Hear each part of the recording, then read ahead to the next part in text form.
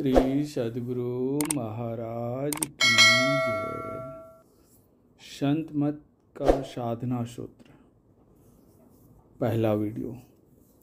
बहुत से लोग ध्यान में आनंद न मिलने की बात करते हैं और कहते हैं कि बहुत दिन से ध्यान कर रहे हैं, अब तक इतना किया है, अब तक कुछ नहीं मिला, कोई प्राप्ति नहीं हुई।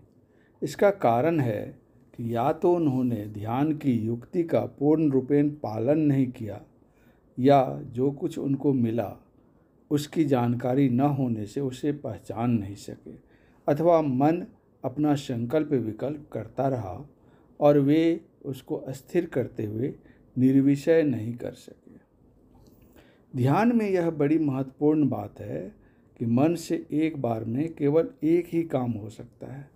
मन जब तक इंद्रियों तथा संसार की ओर भागता रहेगा, तब तक ध्यान नहीं होगा।